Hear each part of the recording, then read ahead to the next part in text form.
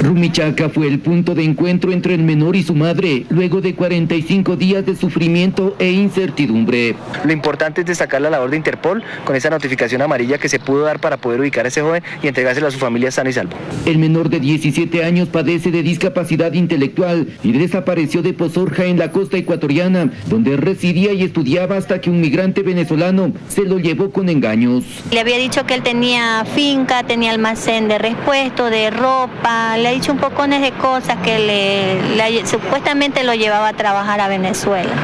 Pero ya en el límite entre Colombia y Venezuela lo abandonó no sin antes despojarlo del poco dinero que tenía. Que luego en la terminal el amigo dijo vamos a cambiar los dólares porque Ecuador maneja dólar y ya se perdió y lo dejó. La denuncia de la desaparición fue presentada en Guayas donde se activó la alerta amarilla de Interpol con resultados positivos. uno de sus miembros policiales y las coordinaciones con policías extranjeras, en este caso con Colombia, te damos la bienvenida. El menor retorna con la madre a su tierra natal, tratando de olvidar esta mala experiencia que afortunadamente no llegó a mayores. En Rumichaca, Jairo Jacome Ortega, 24 horas.